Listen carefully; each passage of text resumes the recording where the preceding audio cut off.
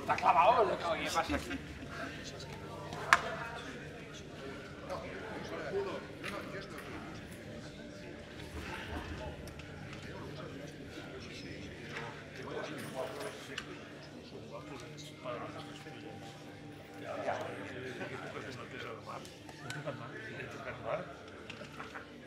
Sí, por favor, cuando quieran, tomen sus asientos, dispónganse rápidamente.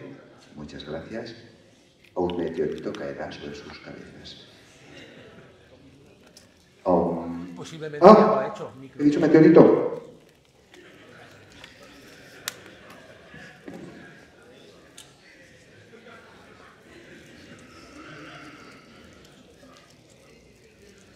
un casco militar.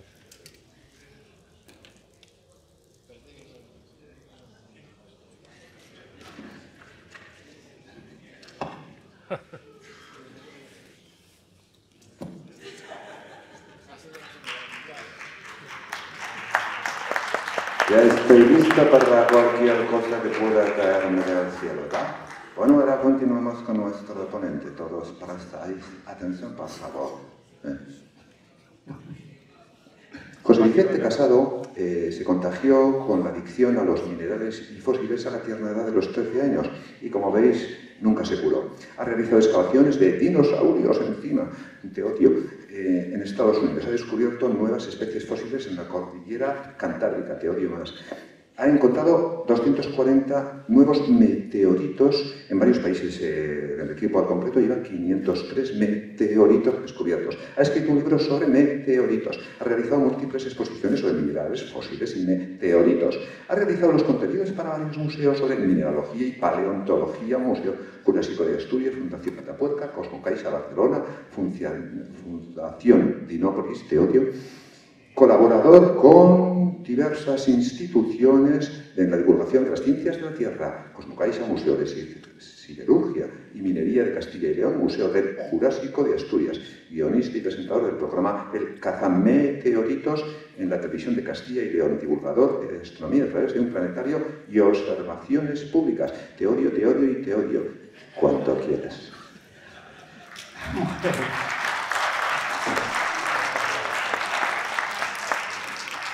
Pero me odio más a mí.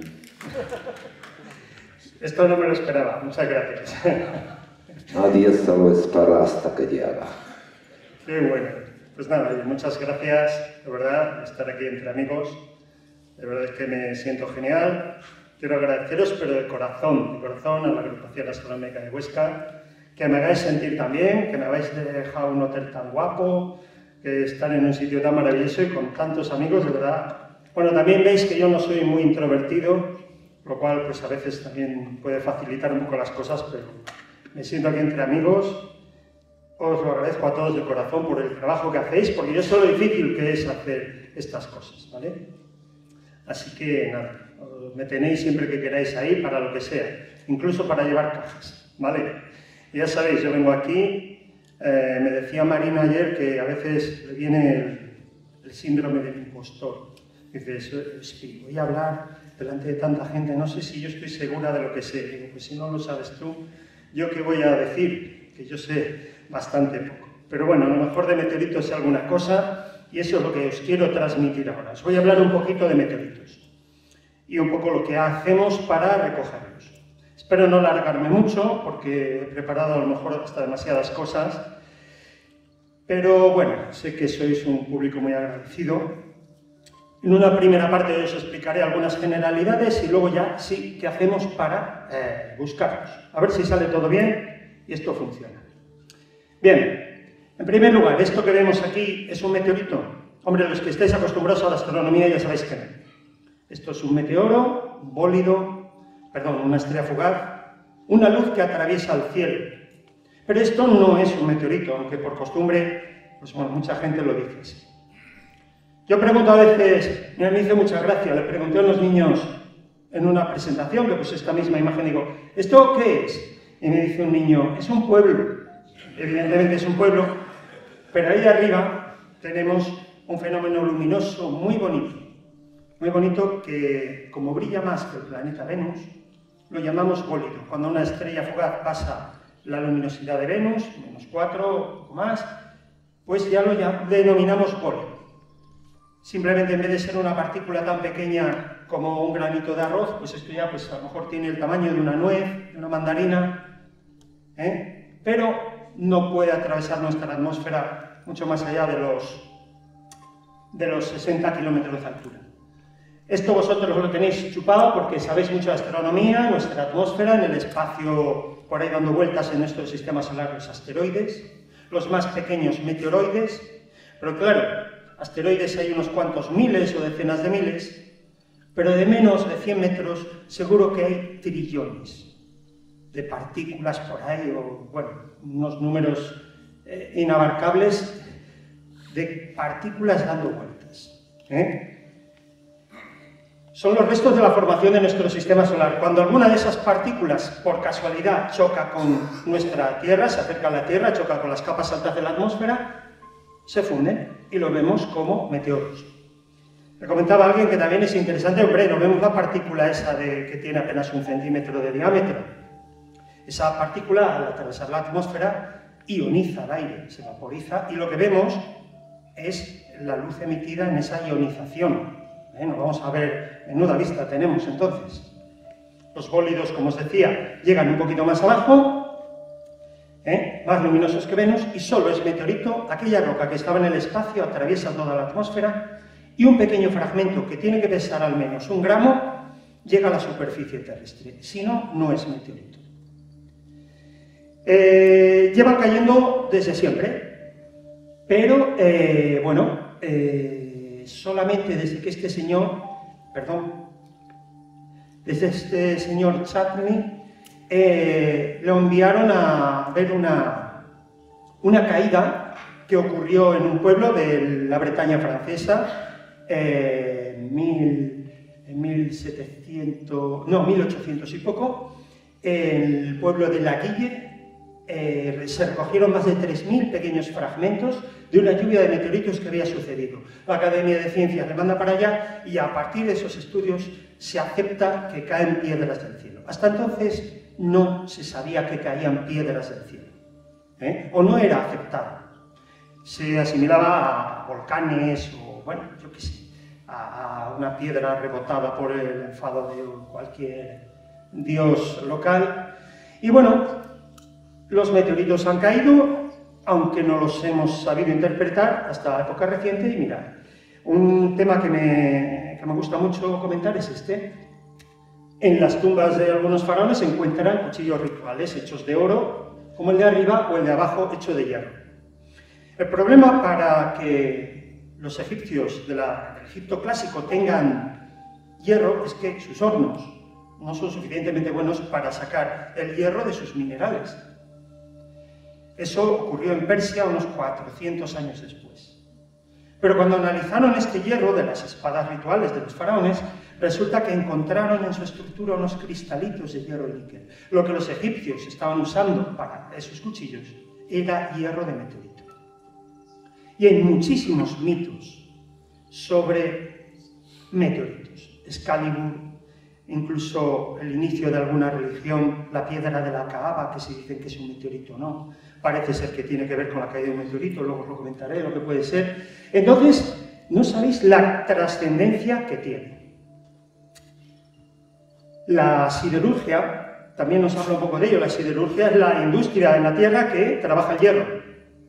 Pero ¿de dónde viene el nombre? Sideros, sideros es lo sideral, lo que está en el cielo. El primer hierro que conoce la humanidad es el que viene del cielo. ¿eh? Y viene pues ya desde eh, en, Persia, en, Grecia, sabían que caían trocitos del hierro, de hierro del cielo, claro, como viene de sideros, pues los que lo trabajan, la siderurgia. Y eh, ya lo siento, tenía que dar una pequeña mala noticia a todos los aragoneses. Hay, bueno, hay, hay infinidad de, datos de caídas de meteoritos en, la Tierra, en, muchos lugares. Por ejemplo, uno en 1400, perdón, ya me, que le este de una caída que sucedió en 1492 en, en Francia, en un pueblo que se llama Ensisheim. Ahora hacemos una feria de meteoritos ahí, ahí nos juntamos todos los locos del mundo a, a intercambiar nuestras piedras. Y esto es una caída que ocurrió sobre la localidad de Tarrasa, cerca de Barcelona, en 1704. Resulta que no había fragmentos de ese meteorito, pero hace tres años unos amigos míos, Jordi Yorca y David Ayepuz, encontraron en una colección antigua de ciencias naturales, conservada por una familia desde hace mucho tiempo en Barcelona, restos del meteorito de Tarrasa. Así que el honor de ser el meteorito más antiguo de la península ibérica no es el de Sena, ya lo siento, sino el de Tarrasa, el que se conservan dos pequeños fragmentos. Pero más allá de la fecha, a mí lo que me importa es que se conserven, me da igual dónde hayan caído, ni la fecha en la que haya sucedido. Solo contar esto, cuando veamos la Luna, es el primer gran impacto, bueno, había un bombardeo masivo de, fragmentos del sistema solar en la Tierra primigenia, pero un cuerpo del tamaño de Marte nos pega un golpe y de esos escombros se formó la Luna. O sea que cuando lo vemos, tenemos ahí, vemos nuestra Luna, sabemos que una vez estuvimos en el ajo todos juntos, Luna y Tierra. Y hay un montón de cráteres por todo el mundo, mmm, distribuidos, hay unos cuantos, algunos grandes. Esto me ocurrió, mirad, me ocurrió solo ir a Estados Unidos todos los años y un año cogí un vuelo que me llevaba a Phoenix y, y pasa por Canadá. Y entonces vi esto y digo, cabrón, si esto es un, este es el cráter de Manicouagan. Claro, si no, dices, menuda plaza toros que han hecho estos canadienses. Pero qué va, es un cráter que cayó hace unos 215 millones de años en el Triásico en Manicouagan y generó una estructura concéntrica hundida en el borde, luego está muy desgastada, ¿no? con una especie de pingo aquí arriba un poco más alto que tiene 300 metros de altura y esto tiene unos 80 kilómetros de, de, diámetro. Y lo vi desde el avión y digo, mira qué bonito, estaba, estaba congelado, digo, qué bien se ve.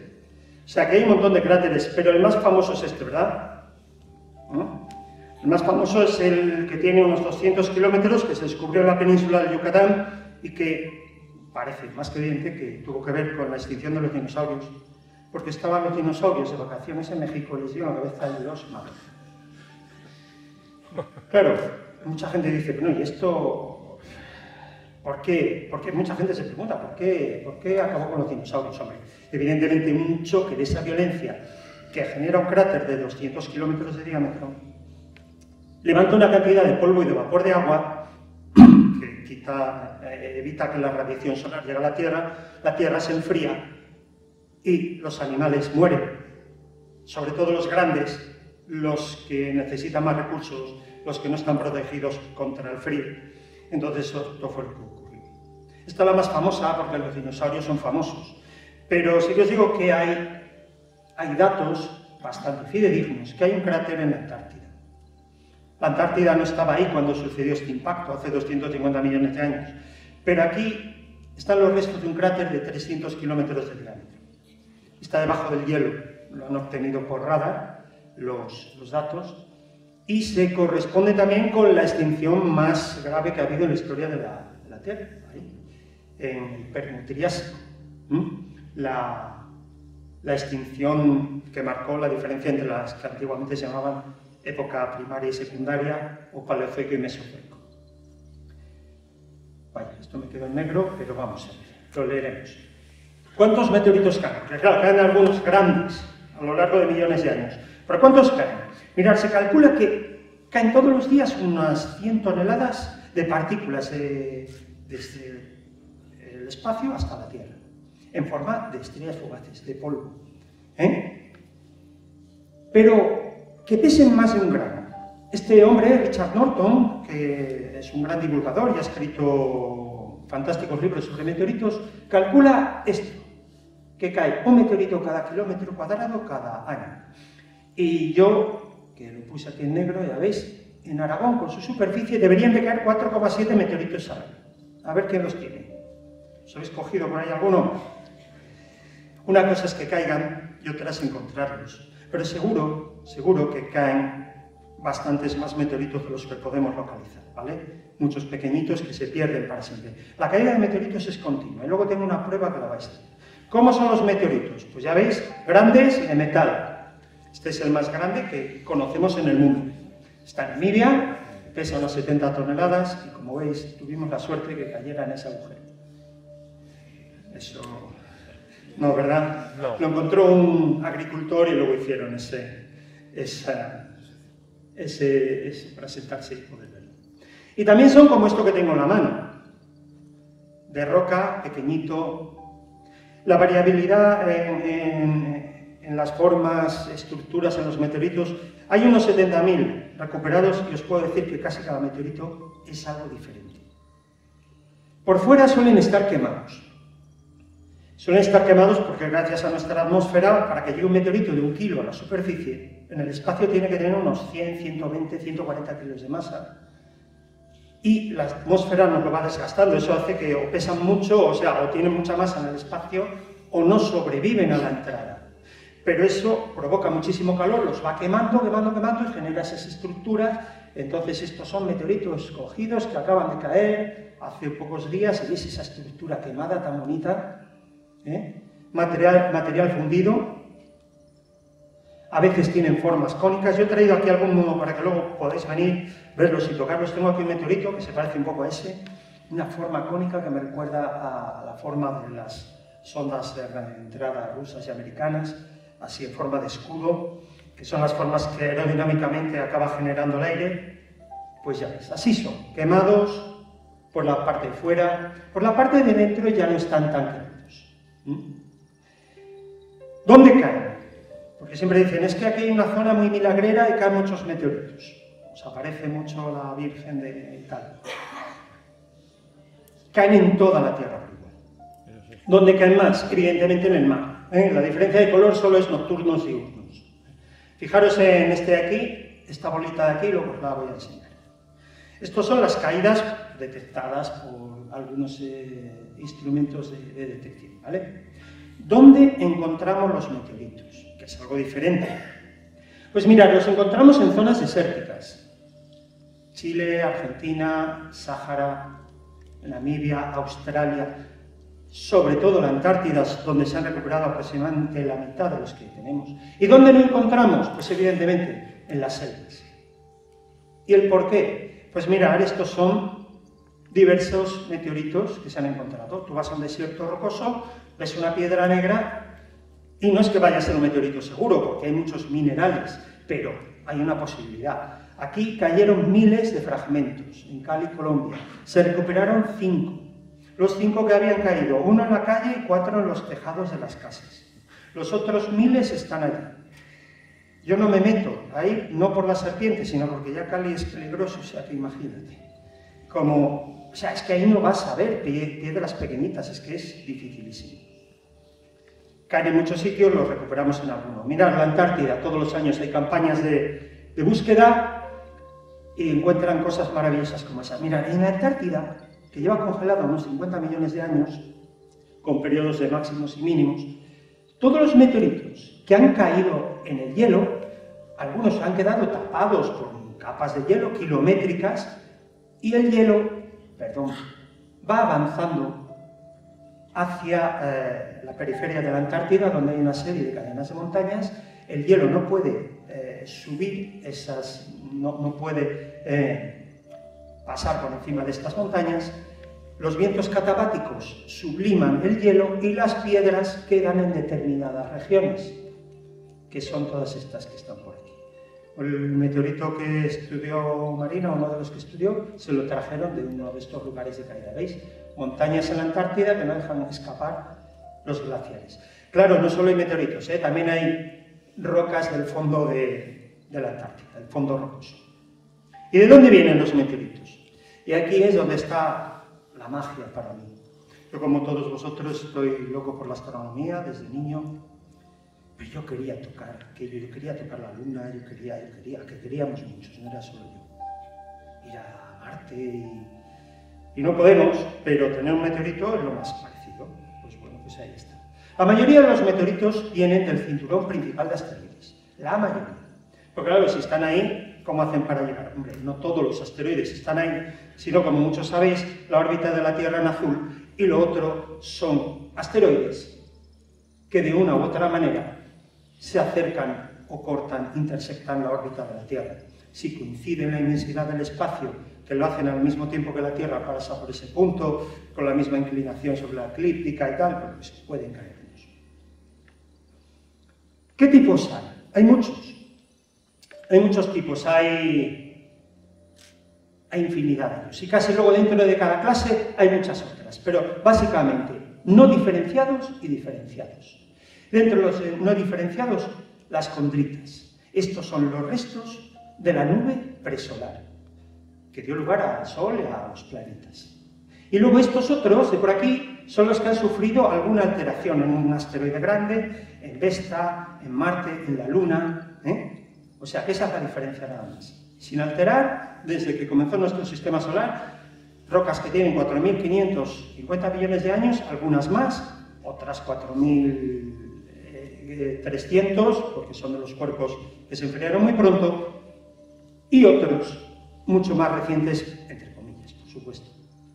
¿Veis? Otra identificación de los meteoritos es que la corteza de fuera quemada y la parte interna, la parte interna más blanca, que esto es como sería el aspecto en el espacio. Las condritas ordinarias son un tipo de no diferenciados y por dentro cuando los cortamos vemos estos circulitos, son esferitas realmente. En la fase de T Tauri del Sol, en esas explosiones hasta que se estabilizan las reacciones nucleares en su interior, y es una estrella más o menos estable por millones de años, expele calor, funde el material y forma estas estructuras. Cuando yo tengo una roca, la corto un poquito y miro con la lupa y veo eso, ya sé que es un meteorito, aunque esté en los monegros o en la Alcarria. ¿Vale? ¿Veis? Son los restos del sistema solar que no acrecionaron y que siguen dando vueltas por ahí. Fijaros en estos, son, en ocasiones tienen los mayores pueden llegar a tener 9 milímetros, lo normal es que tengan un milímetro, submilimétricos, 1, 2, 3 milímetros. Fijaros en ellos porque luego os voy a enseñar qué cosas extrañas hacen estos. ¿Veis? Son así. Y cada uno de ellos ha tenido una historia diferente en nuestro sistema solar primigenio. Es fantástico. Eh, unos tienen sulfuros alrededor, hierro libre por ahí, hierro en la estructura de silicatos. Este seguramente fue una explosión del Sol y luego le envolvió otra con un material diferente. O sea, cada uno cuenta una historia. Yo ya no llego ahí, no me llega la capacidad, pero bueno. Hay un subgrupo muy bonito que son los más interesantes. Pongo un cometa porque sería un cometa hielo, pero tiene una parte rocosa. Y la parte rocosa de los cometas es muy similar a, a estos, que son las condritas carbonáceas. Aquí tenemos a Churyumov, y cuando veo estas imágenes y tengo una condrita carbonácea como una que he traído por aquí, que luego la podréis ver, se sabe que parte, las partes rocosas tienen mucho que ver con este tipo de meteoritos. Tiene unas partículas más blanquitas que se llaman CAIS, que es el único material extrasolar, es decir, viene de fuera del sistema solar, posiblemente de un estallido de una supernova próxima a nuestro Sol primigenio, genera un material partículas de calcio y aluminio que fueron viajando por el espacio hasta que chocaron y se mezclaron con las partes externas de nuestro sistema solar. Cinturón de Kuiper, nube de Oort, se mezcló con lo que ahora son los cometas que nos caen y por eso los encontramos en este tipo de meteoritos. Y ahora vamos a los que no tienen cóndrulos, las acondritas, Marte. Imaginaros Marte que ha tenido, nos lo explicaba muy bien ayer Julio, que eh, ha sufrido muchos procesos geológicos, ya no hay cóndrulos, evidentemente en Marte. Ha habido volcanes, material fundido, entonces llega, cae un... bueno, no estoy... cae un meteorito, pero de una forma tangencial, y no necesariamente genera un cráter como este, que este no ha visto que existe en Marte, y puede que de esta parte arranca partículas, arranca rocas, incluso a veces de metros, y las saca al espacio. Y si una roca de esas nos cae, tenemos una roca que viene de Marte. Esto, al menos ya se han identificado 70 eh, meteoritos de Marte. Este es uno que tuve la suerte de encontrar. Es un basalto de una zona muy profunda de Marte. Y de la Luna lo mismo. Además, en la Luna no solo sabemos que meteoritos de la Luna, sabemos de qué parte es. Hay zonas basálticas, oscuras, los lunares, y luego hay zonas más blancas, que son zonas en ocasiones más montañosas. Ahí ya no hay basaltos son minerales, son silicatos, como la nortosita, eh, minerales del grupo de, este tipo de silicatos, ¿vale? Entonces, si cae meteorito ahí, fijaros esos eyectas, la violencia con la que caen algunos meteoritos, una luna que no tiene atmósfera, nada la frena, sale nos cae. Y tenemos aquí la, el material de la luna y luego eso negro. Eso negro es material fundido, el regolito lunar de mm, la historia de la luna plagada de impactos que han fundido el material, pues es ese material. Vesta, una historia muy curiosa, y hace 1100 millones de años un cuerpo metálico choca con Vesta. No lo destrozó de chiripa, le generó, bueno, un montón de, de zonas de fractura, salió magma del interior de Vesta ahí, generó ese pingo, y tenemos una serie de composiciones hechos, eh, obtenidas por espectrofotometría, alturas, y se corresponden con una serie de meteoritos que vienen de allí. Eucritas, Diogenitas y Joguartitas se llaman. Y tenemos el culpable de aquello, se ha conservado un meteorito que tiene los restos de metal y los restos de Vesta mezclado. ¿Eh? Claro que esos impactos generan millones y millones de toneladas de, de, de escombros. Se ponen a dar vueltas por ahí hasta que alguno casualmente nos cae. Los meteoritos metálicos, luego jugamos aquí a levantar esta piedra, alguno ya lo ha hecho, son muy densos, tienen un aspecto diferente, pero la parte interna, que también lo tengo aquí para que lo veáis, cuando los cortamos vemos que tienen unos cristales de hierro y níquel. ¿De dónde vienen? Asteroides grandes, donde se han diferenciado igual que la Tierra, pues tienen un núcleo, un manto y una corteza. De la parte interna de un gran asteroide que sufrió diferenciación y se enfrió, chocó con otro asteroide, se generaron de nuevo un montón de escombros, inician un viaje por el sistema solar hasta que de nuevo la casuística hace que caiga en la Tierra. Por lo tanto, cuando tenemos un meteorito de este tipo, tenemos en nuestras manos lo que una vez fue el corazón de un asteroide. Aquí está el segundo más meteorito más grande del mundo, en Campo del Cielo, en Argentina. Señor también es pequeñito, ¿eh? o sea que la escala no es muy buena. Pesa 38 toneladas. El meteorito, no es. Luego hay un tipo de meteoritos que tienen, son muy bonitos, no es que aporten mucho a la ciencia, pero estéticamente son muy chulos. Todos aportan, por supuesto, pero hay otros que mucho más. Están hechos de metal y de olivino. Vienen de la parte intermedia de los asteroides donde se ha mezclado, ya se ha empezado a mezclar la parte de metal con la parte de olivino del manto. ¿Cómo caen los meteoritos?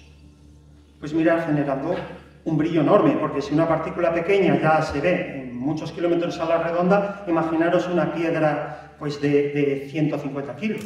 Pues se ve tremendamente, genera hasta un, una onda sónica, Imaginaros que viene por aquí, aquí no lo vemos, aquí empieza a chocar con las capas altas de la atmósfera, brilla, brilla, brilla, y luego hay un momento en el que suelen, suelen estallar.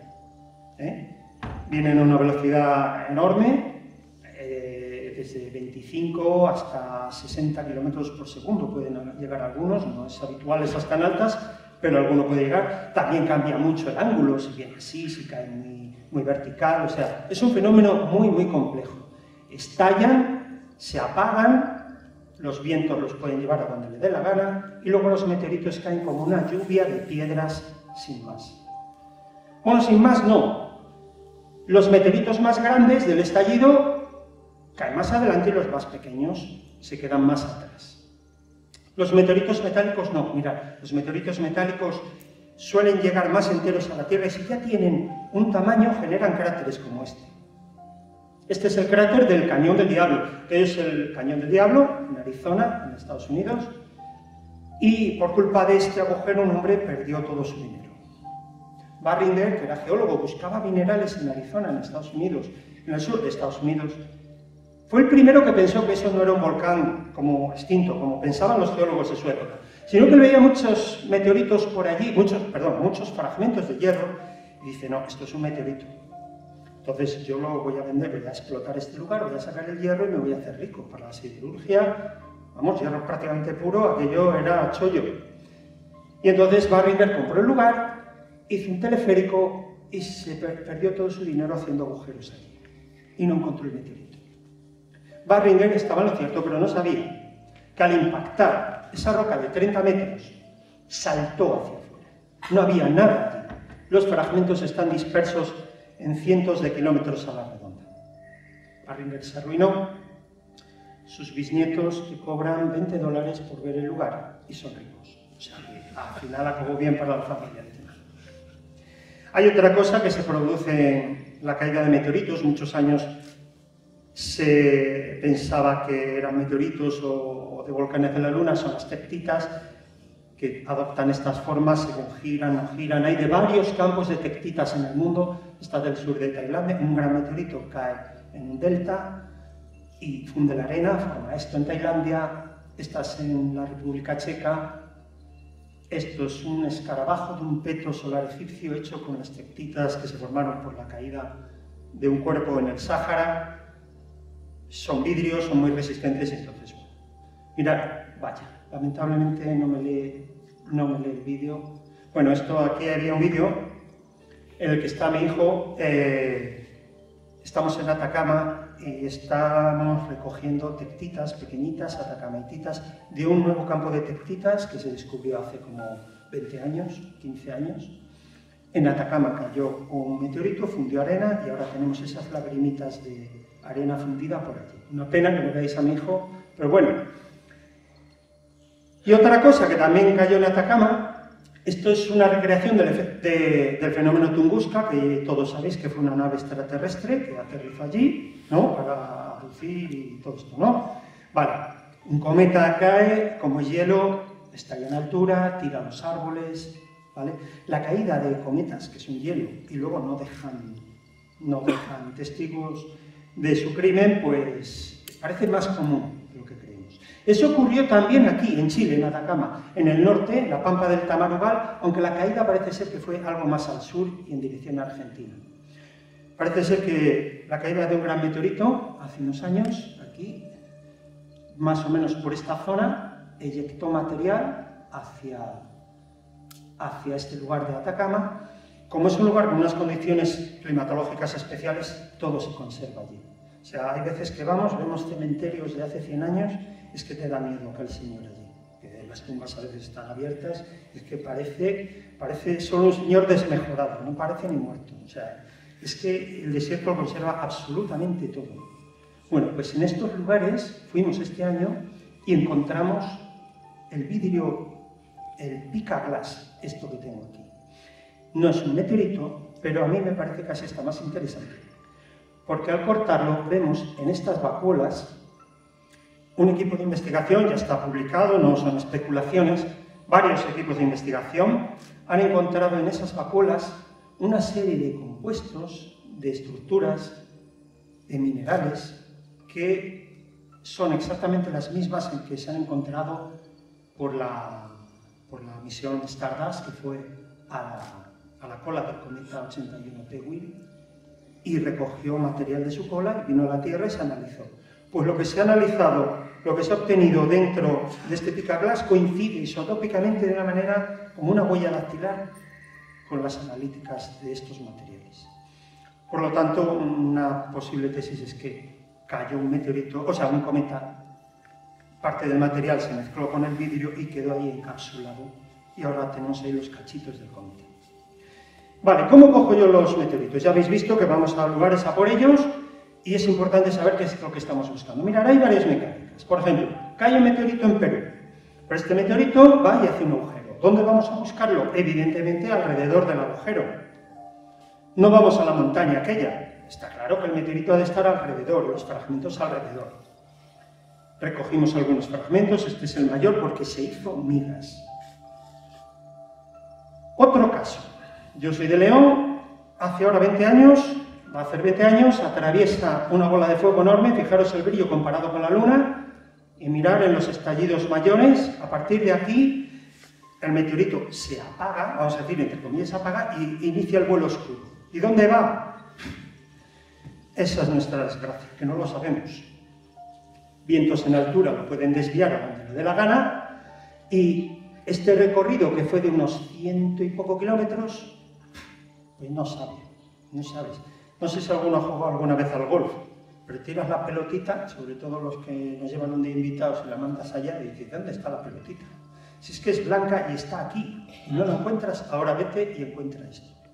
Tuvimos suerte, aquí una persona que estaba paseando al lado del pueblo de Villalbeto de la Peña, encontró una piedrita al lado de una ermita, la llevó un periodista, oye, ¿qué tal? Bueno, pues todos allí. Entonces ya teníamos la pista. La primera piedra, todas las demás iban a estar alrededor. Si no, podríamos estar dando vueltas por aquella comarca que es enorme, como todas las comarcas, evidentemente, y no vamos a encontrar nada. ¿Veis? Este en rojo, los meteoritos que se fueron encontrando, con, según el tamaño del punto rojo, más o menos grande.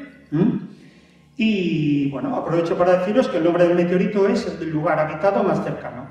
Villalbeto de la Peña, pues el meteorito de Villalbeto de la Peña. Si cae en Sena, Sena, meteorito de Sena. Eso es así.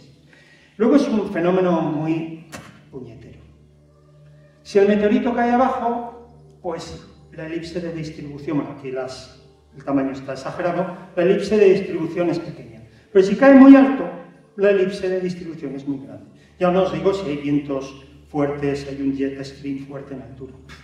Te lo puede desviar kilómetros, decenas de kilómetros. Si cae muy tangencial, una distribución elíptica. Todo esto lo tenemos que saber, pero bueno, así todo tuvimos la inmensa suerte de encontrar alguno, como os digo, a partir de ese que nos, ya nos indicó, y ya que lo rastreamos, vamos así, pum, pum, pum, de una manera tremendamente sistemática.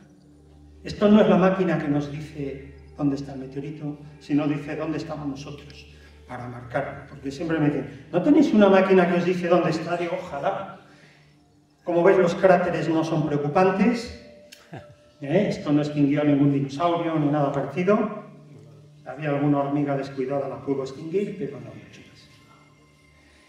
Estos fenómenos son más comunes, esto, esta noticia sale en prensa, miles de personas vieron en la región, en la zona Madrid y Toledo, Ciudad Real, una bola de fuego. Bueno, meteorito de Puerto Lápice.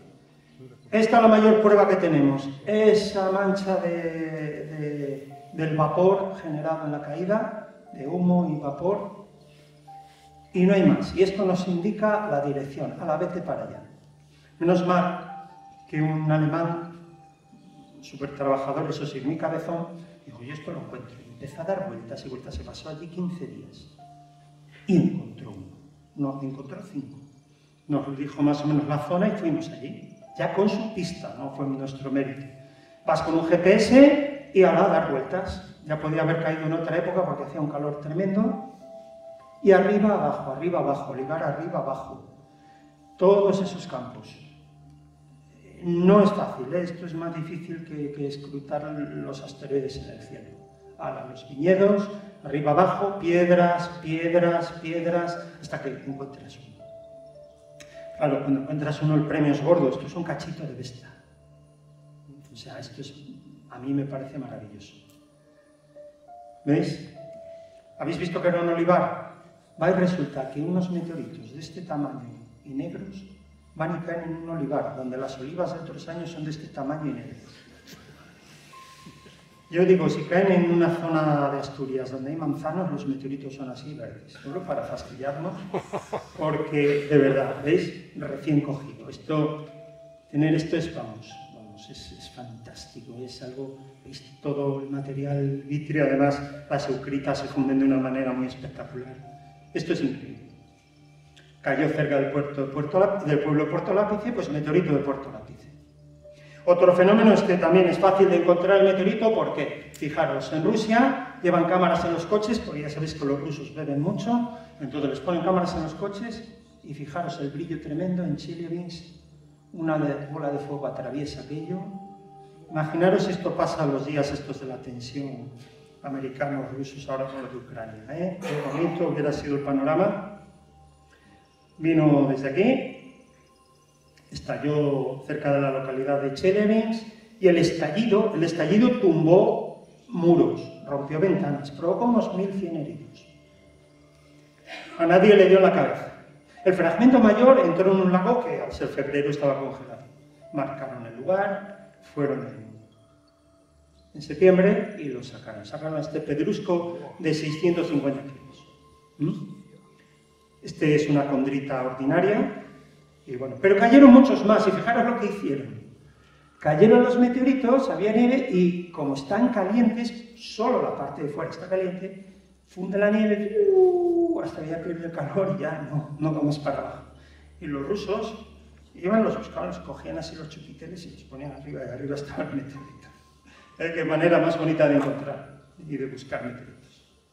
Como no podemos esperar a que caigan, entonces hacemos lo que llamamos búsquedas a ciegas. Elegimos una zona, pues por ejemplo aquí en Túnez, donde hemos ido muchas veces, y escogemos zonas donde no hay arena. Vamos a esas zonas con un quad para movernos muy rápido. Y mirar, esto es para que os hagáis una idea la de vueltas que damos. Están trazadas las marcas por GPS de los, de los quads.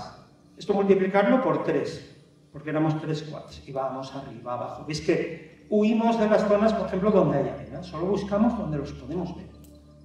Y vuelta, y vuelta, y vuelta. Son ampliaciones. O sea, es muy, muy fatigoso. Hasta que de repente encuentras el premio, un meteorito. ¿Por qué está allí? Porque es una zona estable geológicamente. Y aunque haya caído hace 20.000 años, nadie lo ha movido. Ahora últimamente vamos mucho a Chile porque qué esplanadas, qué inmensidades geológicamente estables. Hay suelos en un lugar que se llama San Juan, isotópicamente, han demostrado que tienen algunos entre 17 y 24 millones de años, sin moverse nada, solamente rompiéndose las rocas de, que conforman eh, los Andes. Así que fijaros, ahí está el coche, mirar qué inmensidades y ahora buscar. Y ahí. Me subo ahí arriba, nos vamos turnando porque es muy, muy cansado estar ahí arriba. Y cuando vemos, un, cuando vemos una piedra negra, eh, un golpe en el coche y me tiro. A veces antes de que pare y bueno. Y me tiro, puede que sea, puede que no, porque hay también bombas volcánicas, eh, hay que vienen de un volcán, vete a saber de dónde, hay materiales que te confunden, pero bueno, gracias a este sistema hemos recuperado un montón de meteoritos. Hay otra manera, mirad, esto es un cráter, también hay cráteres allí en Atacama. Este es el cráter de Vaca Muerta, aquí cae un meteorito. Bueno, realmente son cinco cráteres. Y los meteoritos se rompieron, igual que en el cráter de Barringer, y los fragmentos están por ahí dispersos. Hace años pensaban que aquello era plata, y se lo excavaron. Hace, hace casi 100 años se llevaron en sacos los meteoritos, pero todavía quedan por ahí. Entonces ahí sacamos el detector, solo porque sabemos que alrededor hay un meteorito que es metálico, si no, siempre tiene que ser a ojo. Cuando pita, pues nada, escarbar con el pie o con lo que sea, porque están a poca profundidad y todo ese suelo eh, es, si piensas un poco, te. Pero es un lugar muy grande, enorme, tiene más de 10 kilómetros de campo de distribución, hay meteoritos en toda esta zona. Entonces, como nos cansábamos, hicimos un trineo con una bobina, y ahí está mi amigo Javier, y cuando, cuando aquello pita, nos bajamos el de mano y a sacar el meteorito. Con estos meteoritos metálicos, pues bueno, llevamos en otro palo un imán, ¡pumba! Y sacamos al meteorito. Ahí se pega y bueno. Pero el imán solo aquí, ya veréis por qué.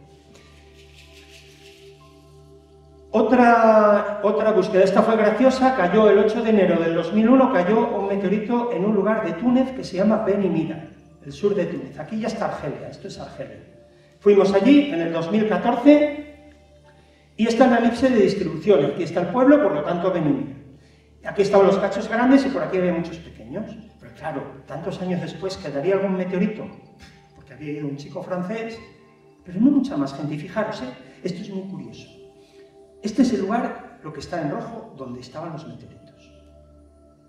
Ahí, con mi amigo John, encontrábamos alguna alegría y tal, pero quiero que os fijéis en algo. Hay muchas piedras negras alrededor. No son meteoritos.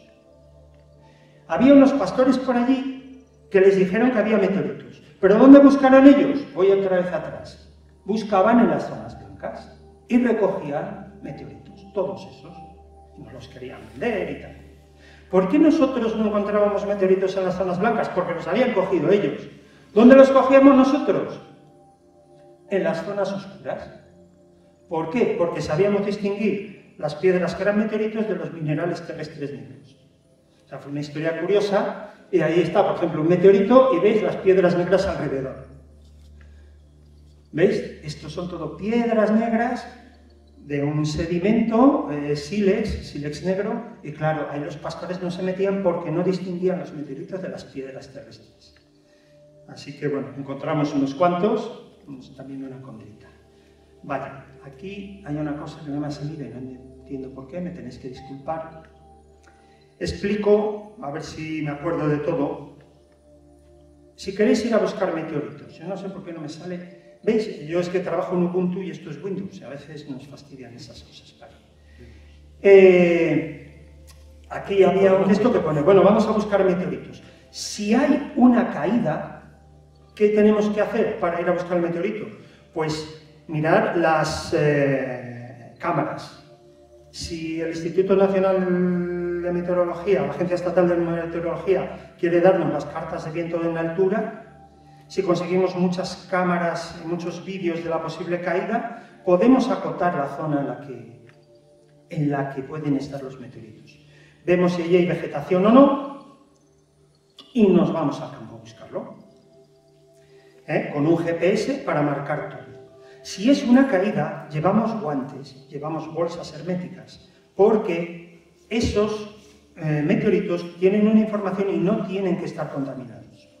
Imanes nunca, porque los meteoritos también tienen una información magnética. En el momento que le pones un imán, la pierde.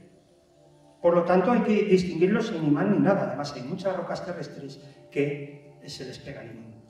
Y si vamos a hacer una búsqueda un desierto, ya no hace falta ir con esos cuidados de guantes ni bolsas herméticas, sí evitar los imanes, pero ahí lo que tenemos que elegir es un lugar en el mundo donde haya eh, un desierto, no haya vegetación, no haya arena, no haya habido ríos en épocas recientes que aunque ahora estén secos, pues si hubo meteoritos hasta hace poco el río los pudo esconder. Por lo tanto, eso, y disculpar esto porque, bueno, ya sabéis el tema Windows Ubuntu, pues está.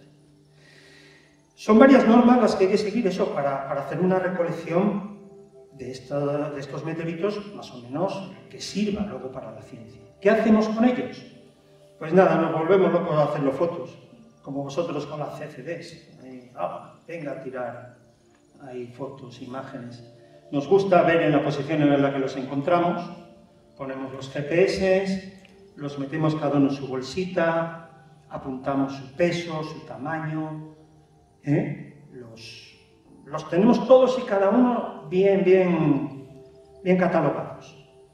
Vaya, hacemos láminas delgadas, hacemos láminas delgadas y los eh, pasamos, trabajamos con la Politécnica de Cataluña, donde habéis visto las maravillas, por ejemplo, eh, Marina en, otras instituciones, bueno, pues están haciendo maravillas con estos, eh, con el estudio, ya no de estos cóndulos, sino con el anillo que hay rodeando los cóndulos, o sea, la información que se puede sacar aquí es fantástica.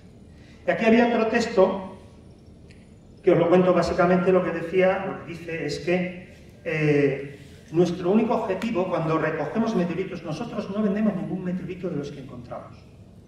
Están a disposición de cualquier científico que los quiera, ¿eh? están en el repositorio de, la Politécnica de Cataluña y un científico dice, oye, quiero unas condritas de las que habéis encontrado en tal sitio para estudiarlas. Pues ahí las tiene. Con eso nunca comerciamos. Yo tengo que vivir de algo y claro, sí comerciar, pero con los que son muy abundantes, con los que hay toneladas y ya no aporta mucho más a la ciencia. Desgraciadamente la mayoría de los meteoritos los perdemos. No os voy a decir cuántos, porque es que ya me da hasta vergüenza. Esto era de noche, fijaros cómo se iluminó, en Lérida me pasé 15 días dando vueltas arriba y abajo y no encontramos nada, pero ese, ese, ese bólido y el ruido que escucharon algunos payeses está clarísimo que aquello, aquello hubo piedras en el suelo, pero hablábamos con ellos, sí, lo vimos, sí, pero uno te dice una cosa, otro la contraria, luego no consigues las cámaras, bueno, es tremendo. Aquí cayó otro, seguro, fue a caer en la peor zona posible y también, lo, bueno, es que no os quiero ni decir. Esto fue gracioso porque un amigo me dice, ha caído un meteorito en tu casa, bueno, tú estás loco. Desde su posición había visto una luz y había estallado encima de lo que sería mi barrio, pero el meteorito siguió volando los fragmentos y se hizo unos cálculos y cayeron en el mar. O sea que quiero deciros que... Y esto, no me fastidies que tampoco va a funcionar. Ay, este Windows. Voy a hablar con, con Guillermo. Mirad, este, esto es un vídeo de un... Desgraciadamente no lo vemos, también un coche, pero esto es en la provincia de, de Cádiz. Justo ahora hace un año, un bólido que además vino muy, muy vertical, vino muy vertical, estalló muy cerca de la base de Rota. Y, por supuesto, la base de Rota tiene cientos de cámaras de seguridad. Eh, ni intentarlo, ni intentarlo con, con los de la base americana que nos dejaran ni una mínima grabación para ver hacia dónde, con esas grabaciones que serían de buena calidad, ver en qué, en qué lugar del campo podríamos buscar, porque ahora estamos buscando en una zona como de 6 por 2 kilómetros. Si hubiéramos tenido más cámaras, hubiéramos buscado en una zona a lo mejor de 2 por 1 y a lo mejor habíamos recogido algún meteorito. Pero buscando en zonas tan inmensas se perdió. Y esto es que es muy espectacular, lo vio gente desde Madrid incluso, y ocurrió, fijaros, en, en Cádiz. ¿Qué es lo que hacemos? Pues intentamos poner cámaras, no tan profesionales como esta, pero bueno, tenemos nuestro grupo, tenemos unas cuantas cámaras distribuidas por varios puntos de España, grabando el cielo continuamente. Ya sabéis, esto lo conocéis todo, quedan ahí los carazos de los meteoros. Si hay un evento suficientemente importante, pues bueno, pues triangulando podemos tener una idea de hacia dónde cae. Mirad, con esto se recuperó un meteorito en Inglaterra. Sí, en Inglaterra fue ¿Veis? Esta es la trayectoria y fue captado. Además, capta, sabes a qué velocidad vino, cuándo estalló, el vuelo oscuro, allí tienen cartas de viento y llamaron a un montón de gente para ir a recogerlo y recogieron el meteorito. Pero hay gente que le cae sin que lo vayan a buscar. ¿eh? Esto es un evento que ocurrió en Estados Unidos. Eh, bueno, también la posibilidad de que te caiga un meteorito en Estados Unidos en el coche es el doble que aquí. Pero es que los coches son justo el doble de grandes, superficie, entonces es simplemente eso. Más personas que les han caído pequeños meteoritos, este estaría en el límite, porque pesa menos de un gramo, por ahí andaba. Esta señora, famosa, que la cayó el meteorito, mira el hematoma que la hizo, rebotó en un parador y la dio en la cadera. Esta señora duerme con el casco, Mirar hace dos años y un meteorito, ya sabéis que las casas en Estados Unidos con madera, pladur y tal, rompió la estructura del tejado y le cayó esa piedra al lado de la cabeza. No lo olvides, la llamamos. A ver, que la des unas recomendaciones. Que se ponga mejor la coraza de un tanque. Vale, un tanque entero. O que vivan en una casa con forjado. Ella cuenta que pensó que, que se había roto el tejado y la caía nieve encima era lo blanco de, las cayolas de yeso que hubiera ahí. Mira, y son caprichosos, los meteoritos son muy caprichosos, tremendamente. Puedes estar cuatro meses y no cae uno y mira, aquí, el día 13 de febrero de este año, uno, aquí. Esta muchacha lo encontré, todo feliz. Además un montón de aficionados fueron allí a buscarlo y bueno, pues, pues estuvo genial. Pero al día siguiente cayó otro en Italia y al otro día al día siguiente en Texas, en Estados Unidos. Y los tres se recuperaron. Y luego te pasas meses y no hay ninguno. Es... Los meteoritos son caprichosos.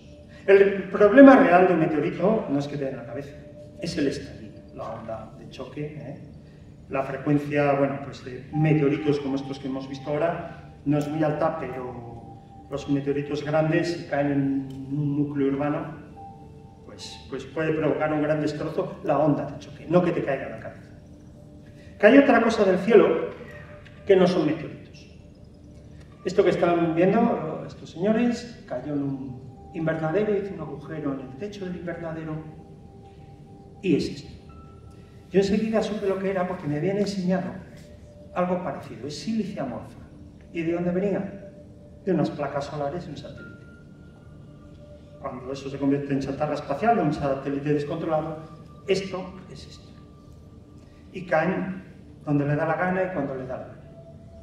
Un depósito de combustible ruso lanzado desde Baikonur, luego los van y lo recuperan. ¿eh? Tenemos en la exposición en Huesca de meteoritos que inauguramos antes de ayer, un depósito de combustible más pequeño de la Salyut 7. Tenemos uno de estos para que lo veáis. Estos depósitos de combustible, toda la Salyut cayó, la lanzaron sobre el Atlántico Sur. Los rusos no deben de ser muy buenos haciendo cálculos, no lo sé, y les cayó en Entre Ríos, en Argentina. Casi toda la nave se destruyó en la entrada, pero eh, creo recordar seis de estas eh, esferas, que son depósitos de hidracina, sobrevivieron. Y bueno, yo tuve la suerte de que he adquirido una este año, es esta la entrada de la chatarra espacial. ¿Eh? La chatarra espacial para distinguir la caída de un meteorito, porque ayer cayó una, me saltó una alerta, que había caído un objeto sobre Pamplona, País Vasco, y era una reentrada de, creo recordar, de un cohete o algo así, y, generó un brillo muy importante en el cielo y todo, un meteorito, un meteorito. La chatarra espacial viene a una velocidad mucho más baja que un meteorito y se suele, se suele ir rompiendo, mucho más. Mirad, este es mi, este es mi depósito de combustible, el de la Salyut 7. Esta estuvo nueve años dando vueltas a la Tierra. Y fijaros, le impactaron micrometeoritos. Ahí tenemos con su cráter y todo. ¿eh? ¿Veis? Tiene como 5 milímetros. Esas esferitas que tienen las condritas ordinarias están ahí, montón de ellas. Ese es la luz zodiacal que conocemos en la astronomía, está compuesta de esas partículas. Y la caen, cayeron en la sonda, eh, perdón, en el depósito, y fijaros, esto es otra parte del depósito. ¿Estáis viendo la cantidad de impactos? Si no tuviéramos la atmósfera, pues estamos literalmente acribillados. ¿eh? Tenemos que llevar el casco y una chaqueta metálica, que era una película, ¿no? Pues. Así que, como veis, es un, gracias a tener atmósfera, pues podemos vivir. Esto se lo provocó la entrada que se fundió material y veis es lo mismo que hay en algunos meteoritos. El mecanismo es el mismo. Entra a velocidad, funde parcialmente el material y hay un momento en el que deja de fundirse y queda ahí en la, en la superficie. Bueno, ya brevemente, hay gente que falsifica meteoritos, como este individuo, peligroso, cuidado con él, hizo una falsificación de meteoritos, pero es relativamente fácil desenmascararlo. Una medida de la edad isotópica, pues enseguida. Pero bueno, engañan con todo. Luego también rocas terrestres, que podemos confundir desde las fulguritas formadas con un rayo, instrumentos eh, paleolítico, neolítico, minerales, que ha sido dada estas estructuras por el viento, minerales de hierro, escorias de fundición, que es que están ubicuas, todo el mundo lo confunde con meteoritos. En el momento que algo ves que tiene una burbuja, ya aquello no es meteorito. Piedras volcánicas, piedras volcánicas, minerales de hierro, un montón de cosas. Pero ahora que es época de setas, mucha gente va a buscar setas y ya de paso dice, pues voy a coger meteoritos.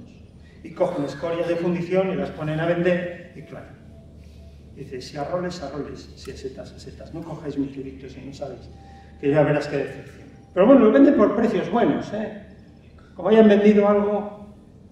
Luego quiero hacer dos pequeñas reflexiones breves. Una, estas son las caídas en España, ¿vale? He hecho nada, una pequeña recopilación de datos y son las caídas de meteoritos en Marruecos, ¿vale? Estos datos los podéis ver en Meteoritical Society. Me chisoria. Esto de que no me lea, es que aquí la chicha estaba en la... Bueno, a ver si os lo resumo, que acordarme acuerdo. Con una superficie un poco mayor Marruecos que España, resulta que en Marruecos en los últimos 25 años se han recuperado 17 meteoritos y en España 2. ¿Por qué es? Pues porque en Marruecos se ve, es más árido y, bueno, pues eh, es fácil reconocer un meteorito. En España tenemos mucha vegetación, ríos, eh, eh, autopistas, yo qué sé, mucho más que allí, y entonces es más difícil de recuperar. Pero hay otro factor muy importante, y es que en Marruecos, cuando cae un meteorito, y es que van más o menos a uno al año, el momento que ven un brillo en el cielo, no sabéis la cantidad de gente que vaya a cogerlo.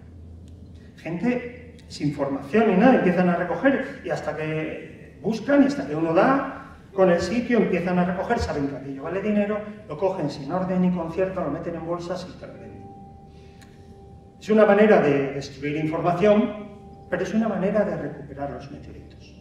En España no podemos recuperar meteoritos porque la gente no se anima a ir por la dificultad del terreno y eh, porque tampoco sabe si estás haciendo algo legal. Y dices, si voy a buscar meteoritos y me van a meter un puro, pues no voy a buscar meteoritos. O voy a buscar meteoritos, lo encuentro y me lo callo. ¿Mm? Por eso en España ya no se encuentran apenas meteoritos. En Marruecos saben que si cogen un meteorito, una persona ahí que encuentra un meteorito más o menos grande, o unos pocos, y sabe que da de comer a su familia un año.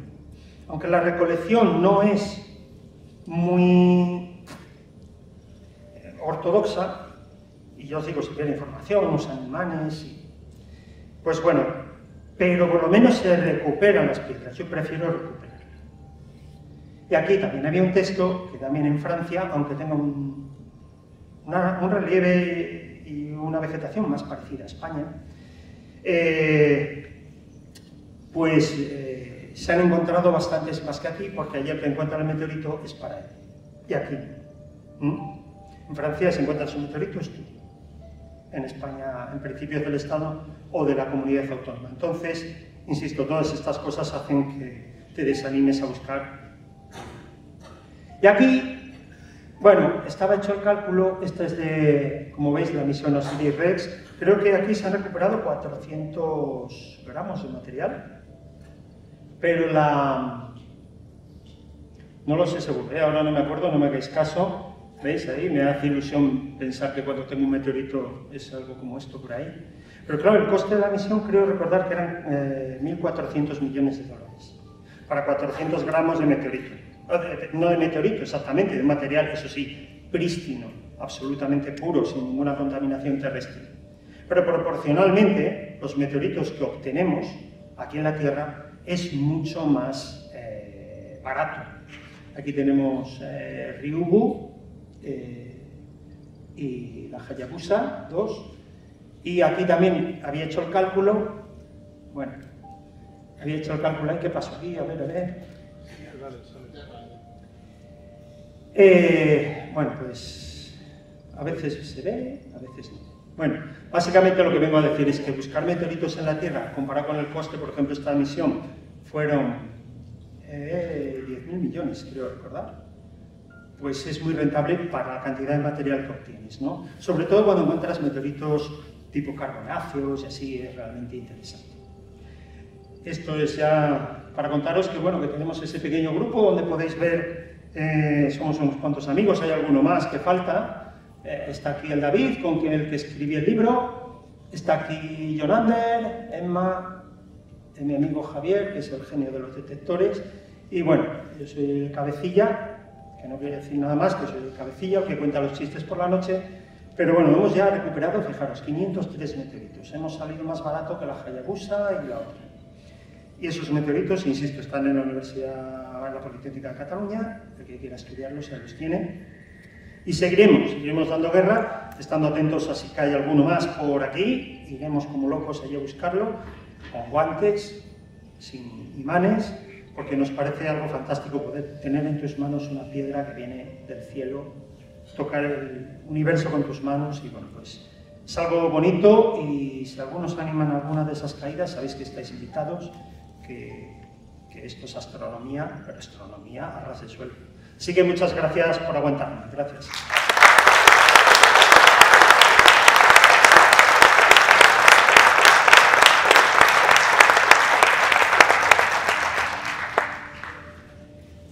Sí, bueno, y luego el que quiera se puede acercar un poquito por aquí y os enseño estas, estas piedras. Hola, buenas. ¿Qué tal? Em, yo tengo un par de meteoritos. Sí. Uno es comprado y el otro es encontrado en el Sahara. Ajá. Y, estoy contentísimo y espero encontrar alguno más algún día. Bueno. Pero lo que, lo que te quería comentar es, comentabas lo del tema de los imanes del campo magnético y he visto que acercáis el GPS a la piedra. Claro, el GPS también genera un campo magnético. cuando no sabíamos, sí. Vale. Sí, cuando nos, eso es de las primeras partes, sí. Vale, entonces, si, si yo tengo la suerte de encontrar uno, ¿cómo determino la posición sin variar el, el campo magnético de la piedra. ¿Qué, qué hacéis ahora para generar? ¿Qué, ¿Hacéis Bueno. una marca? No sé. Sí, eh, tienes toda la razón en el tema del GPS, eso claro, nos hemos dado cuenta posteriori, hemos, hemos sido unos pardillos, ¿no? esto no se estudia en ningún lugar, no hay un máster de esto ni nada. O sea, hemos ido aprendiendo poco a poco y evidentemente hemos cometido un montón de errores. Y uno era ese. También luego es muy complicado porque si vas a un lugar y metes los meteoritos en una bolsa y van a un avión, pues pasará por campos de detección y tal. Evidentemente, lo que ahora sí que vamos a ser muy cuidadosos es en los que caigan, si encontramos alguno en una caída, pues mantenerlo lo más alejado posible de cualquier fuente magnética. Por ejemplo, lo que hacíamos en, el campo, en el primero, el, el de Villalbeto de la Peña, los primeros que cogíamos ahí con el ¡Pam! ¡El meteorito! ¡Oh! No. Y, y ya os digo con, con los fragmentos del de Puerto Lápice, que es Vesta, que tiene una información valiosísima a nivel magnético. Hay un eh, Albert Chambon de, la Universidad de París. Es, o sea, no, por favor, no nos acerquéis, que estamos estudiando eso, estamos estudiando magnetismo y es que lo destrozáis todo con. No, evidentemente se tendrá cuidado y claro, no se puede enviar por correo, llevarlo en mano, aislado. Sabemos que hay que tomar esas precauciones porque el meteorito es mucho más valioso, pero sí que hemos cometido un montón de errores. Éramos, bueno, en ese, unos partidillos, unos partidillos del todo.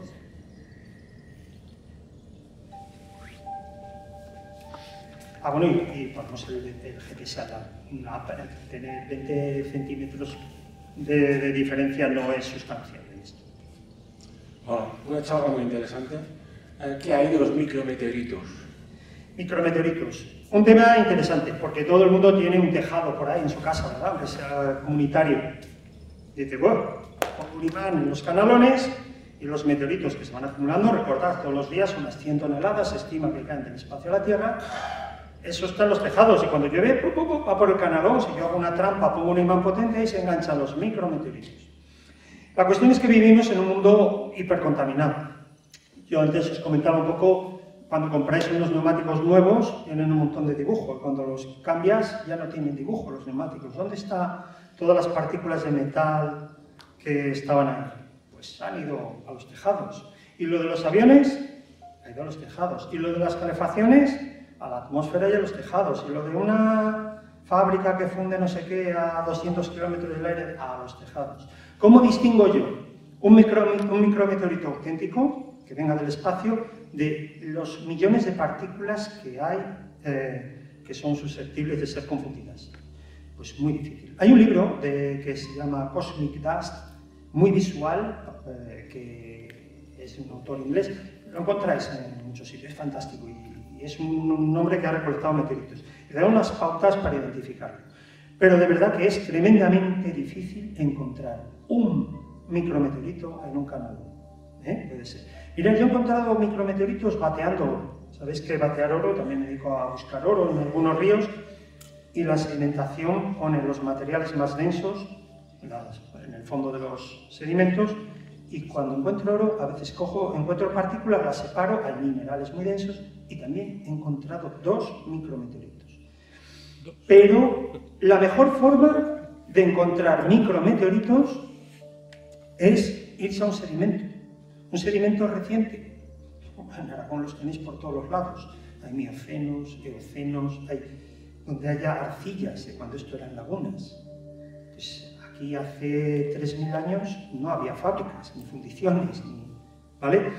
Y entonces, en esos sedimentos, en aquella época, por supuesto, todos los días caían los mismos micrometeoritos que ahora.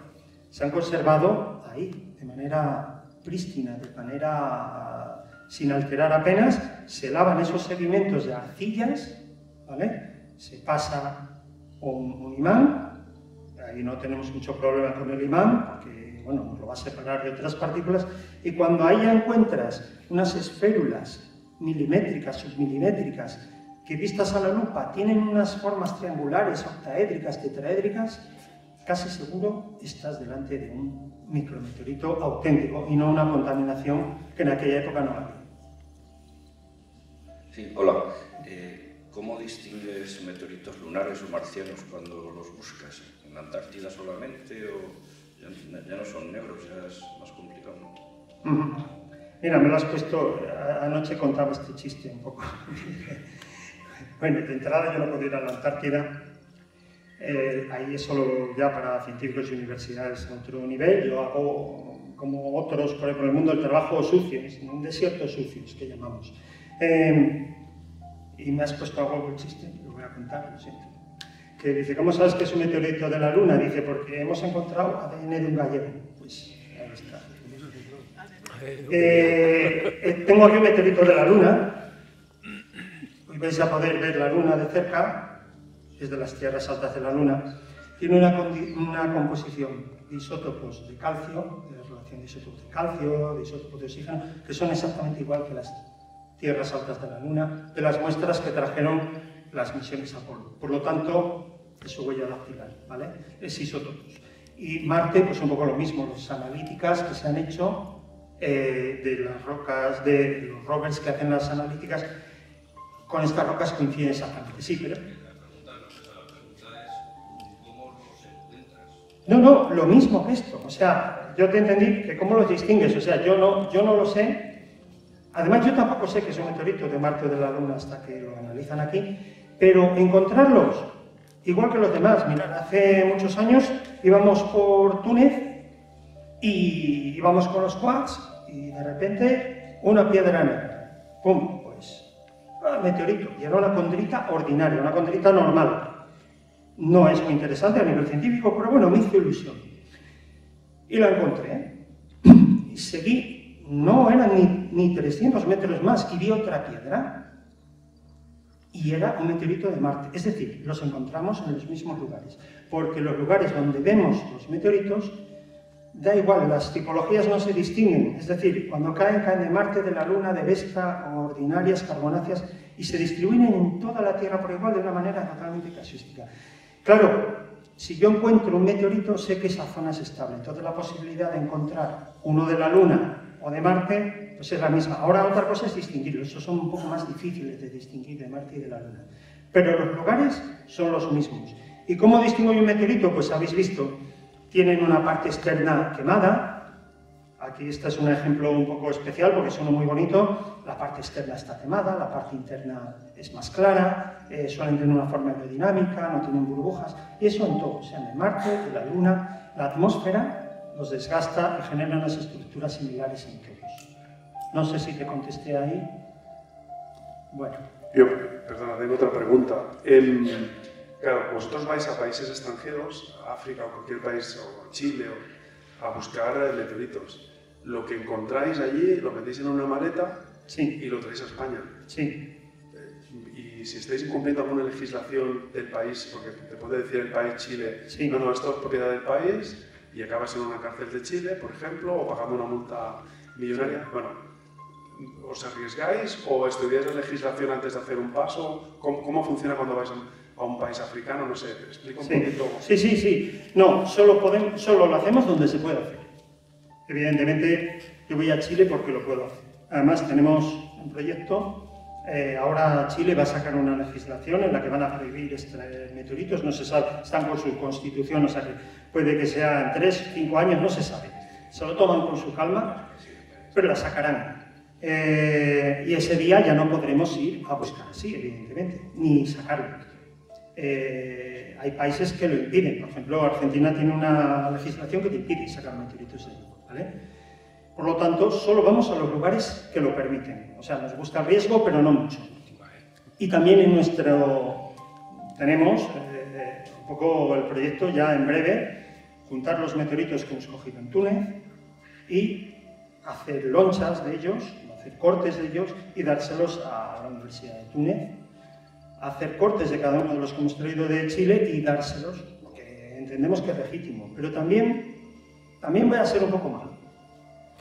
Eh, lo tienen allí, o lo coges o lo pierdes. Es decir, mm, son un poco vagueras, eh, decimos en mi pueblo. Tienes un tesoro ahí y no lo coges, pero si lo cojo yo ya se lo quieres. ¿eh? Está ahí, recógelo, estudialo, úsalo, pero no. Pero cuando lo tiene otro ya lo quiere. Bueno, les vamos a hacer el trabajo, no pasa nada, nos quedaremos con una parte, pero otro para ello. Me parece que es legítimo, aunque no sé, la astronomía, en la astronomía yo no entiendo mucho ni de fronteras, ni de países, ni de meteorítica, otra cosa es que casualmente coincide aquella allí, ¿no? En esto a lo mejor tengo una visión un poco egoísta, pero hay gente que se deja la piel haciendo cosas y gente que no hace nada y quiere lo de la gente que hace. Esto lo sabéis en la vida cotidiana.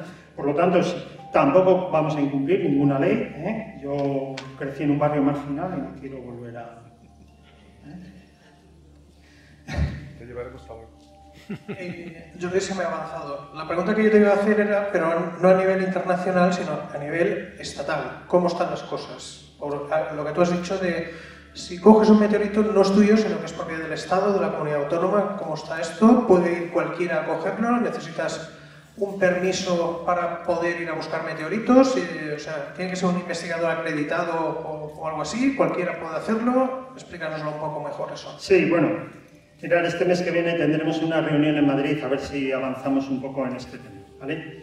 Ah, hay otra cosa que es muy curiosa, por ejemplo, Argentina va y prohíbe mmm, que se extraigan meteoritos de Argentina. Esto fue hace 25 años. Desde hace 25 años no se ha encontrado ningún meteorito en Argentina. Curioso, ¿verdad? Eh, pero la policía de Argentina de fronteras y algunos de la universidad me llaman a veces para ofrecerme el meteorito. Es curioso, ¿verdad? O sea, una cosa es el mundo de las ideas y otra la realidad. En España la realidad es un poco, un poco absurda. ¿Por qué no encontramos meteoritos? Porque la gente tiene miedo de ir al campo. Gente que tiene miedo de ir al campo. Y si cojo caracoles y me para la Guardia Civil, y si cojo tomillo y me denuncian, y si... Esa es la realidad. Yo lo detecto. O sea, vas por el camino y dices, si me salgo me denuncian. O sea, ya no te digo ir a coger meteoritos. Cuando cayó el meteorito de Puerto Lápice, la realidad es que eh, fuimos, yo fui el segundo en llegar allí, cogí varias piedras, las di a varias universidades, yo me he quedado con cuatro, pero están a disposición ahí. ¿Quién tenía que recoger el meteorito de Puerto Lápice? El, eh, CSIC, a través de su Instituto de Astrobiología, que está a 80 kilómetros del lugar de caída.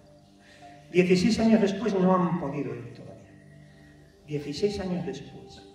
Yo quiero ir porque hay una información muy importante eh, hay, los, hay ligeros que tienen una vida media de 20 días y que aportan mucha información sobre rayos cósmicos y yo quiero ir rápido a recoger las piezas.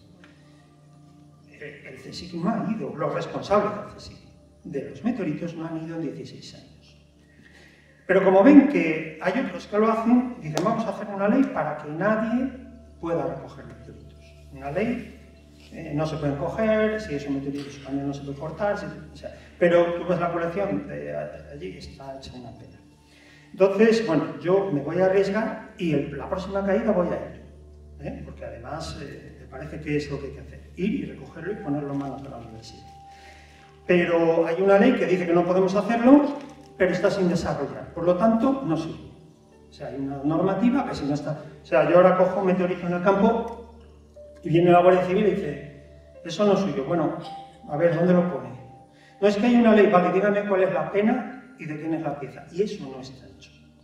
Y además, es una, en España somos 17 países para esto. Entonces, cada comunidad autónoma es soberana sobre este patrimonio. Así que, en principio, desde el gobierno central no podrían hacer nada y tendría que hacerse en cada comunidad autónoma, entenderlo como, como bien de interés científico, pero claro, si hay un meteorito, tendría que haber alguien a nivel, mm, a nivel oficial que, generara un grupo de búsqueda de trabajo para recuperar eso cuanto antes, pero no lo hay. O sea, hay la prohibición y la destrucción inmediata porque a nadie le interesa. Entonces, mm, a mí un poco en ese sentido soy un chulo de barrio. Cuando caiga un meteorito, yo sé que lo que tenemos que hacer es ir a buscarlo, sabemos cómo hacerlo sabemos distinguirlo de las piedras que no son, sabemos a quién hay que enviarlo y me da igual lo que haya dicho alguien que por su incapacidad nos quiere impedir recuperar estas piedras. Perdonar esta chuleta. ¿eh? Quiero decir, lo hablo desde el corazón porque veis que soy un poco emotivo, pero me parece que es así. Bueno, eh, lo que veo es que al final es una ley hecha en un despacho por personas que no saben la ley que han montado, no, saben, no entienden de ese campo Igual que las leyes contra la contaminación Pero esto es España. Es así. Están hechas muy, desde el desconocimiento general de cómo afecta la luz eh, artificial de Todos la noche se- se- a los astrónomos, pero incluso al medio ambiente y a las personas. A ver, vamos a ver, eh, los astrónomos es que sois una gente un poco... Somos, vale. Eh, somos una gente un poco estúpida. O sea, ¿qué queréis? ¿Que se apaguen las luces de noche? ¿Vosotros sabéis, o que se use eficientemente la luz? ¿Sabéis eso que pérdidas genera a nivel de eléctricas? Eso genera muchas pérdidas. En el momento que estás produciendo energía y no se consume, ellos no ingresan. O sea, es que eso... Tengo un amigo ingeniero de unas centrales y me lo cuenta. Dice, no, no, aquí hay que gastar porque en estos bajones de, consumo, si no, no es rentable tal planta, tal otra. O sea, si, si gastáramos la, luz, es que es, que es pues, una cosa, imagínate. Lo que me has dicho, aplícalo a esto. Además, con un poco con más la envidia de que yo soy muy movido y tenemos la capacidad, con mis amigos tenemos la capacidad de, de encontrar los meteoritos. Y además, eh, me parece que lo gestionamos razonablemente. Entonces diré, eh, que no cojan, que son expoliadores. Me da lo mismo. Yo voy a seguir haciéndolo. De hecho, a veces me he encontrado Guardia Civil, eh, de esto que hablas con alguno del Seprona y tal, y, y bueno, ¿y qué haces si me ves buscando meteoritos? Y me dicen, pues te ayudo, ¿no? O sea, perdonar que sea tan así. Bueno, pues un fuerte aplauso para